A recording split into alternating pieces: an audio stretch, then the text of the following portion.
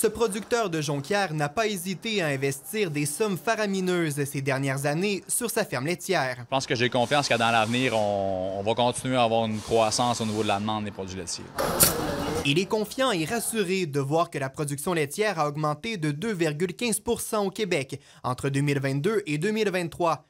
Il sent un regain d'intérêt alors que les boissons végétales comme le soya et l'avoine devenaient plus populaires ces dernières années. C'est sûr qu'on travaille à rentabiliser notre investissement de plus en plus, donc on achète euh, des quotas euh, comme c'est disponible à chaque mois.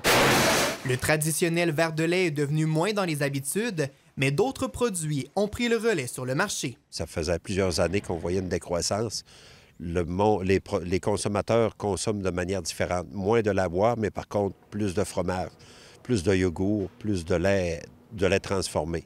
Le Saguenay-Lac-Saint-Jean a connu la plus grande hausse de la production. on ne peut pas se tourner vers des productions végétales, exemple maïs ou soya. On n'a pas le climat pour faire ça. Présentement, ce qui, ce qui reste euh, intéressant, c'est la production laitière. Cette hausse de la demande ne serait pas étrangère à la tendance des consommateurs de vouloir cuisiner chez soi. Les produits maison ont la cote. Le prix des aliments a poussé beaucoup de monde à préparer euh, des aliments plus souvent à la maison. Alors, j'ai l'impression que la demande pour certains produits laitiers a augmenté en raison de ça aussi.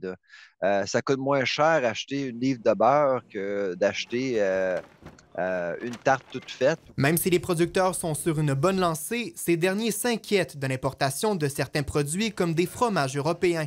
Ils appellent les consommateurs à continuer d'encourager local. Quand vous achetez vos produits laitiers, c'est extrêmement important que vous nous encouragez avec euh, des produits laitiers qui ont le petit logo de la vache bleue.